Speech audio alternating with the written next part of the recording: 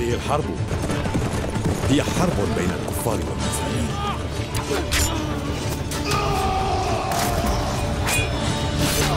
صلاح الدين سيخرج لمواجهة كل جيش صليبي. سنمحو عثمان من هذه الأرض. صغيري بلا جميع أنهار المنطقة. ستصبغ اليوم باللون الأحمر.